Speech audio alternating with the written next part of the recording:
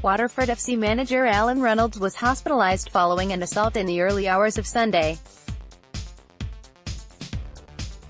The 43-year-old soccer coach received injuries to his head and face, and was taken by emergency services to Waterford Hospital.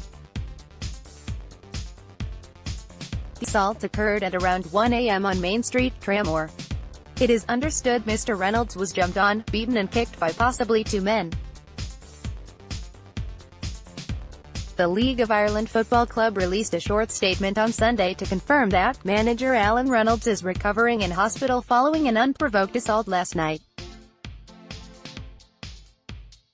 The club said it would not be making any further comment on the matter. Gardaí are investigating the attack, and no arrests have been made.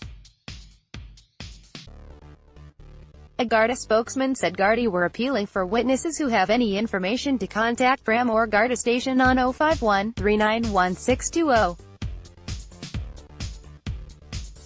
Waterford play in the League of Ireland Premier Division after they won promotion to the top flight of the domestic league last year. Jack Power Irish Times News News, direct to your inbox.